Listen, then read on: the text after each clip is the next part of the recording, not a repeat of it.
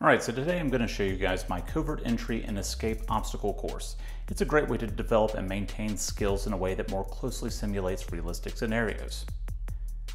So if I want to mimic Deviant Ollam's Gringo Warrior scenarios, the first station is going to be a restraint station. The simplest restraint is duct tape. We can practice skills using improvised tools like basic handcuff shimming.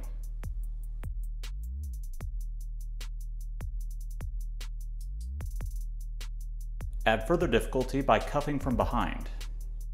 We can add skills that use ready-made and concealable tools like this composite handcuff key. For added annoyance, be sure to drop the key.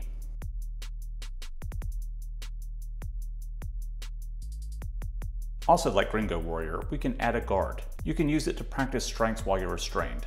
Depending on the scenario, the guard may have a handcuff key or other valuable things like an RFID badge. You might incorporate other concealable tools like this escape card or a conventional handcuff key. Once you reach your wallet, you can use a pre-punch tool of your choice, in this case a saw blade, rather than using a new card every time. You can also use Kevlar shoelaces to escape zip cuffs. It's simple to use a friction saw when you're cuffed from the front, but this method is more challenging when cuffed from behind.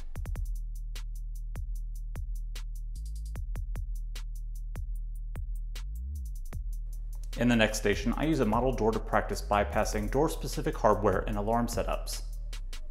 It works well for loitering and bypassing residential privacy hardware. I also use a lock stand that can fit most door handles and deadbolts, but it also features eye hooks that can hold various types of padlocks. Both my model door and my lock stand rest on a filing cabinet to simulate common door handle heights. The filing cabinet can be accessed either by a wafer lock or a padlock depending on the scenario.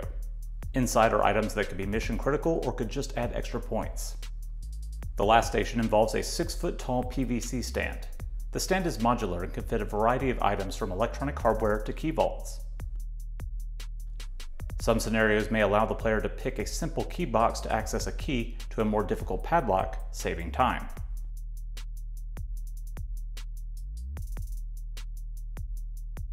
Likewise, bypassing this key vault can allow us to take a shortcut around a difficult to pick lock.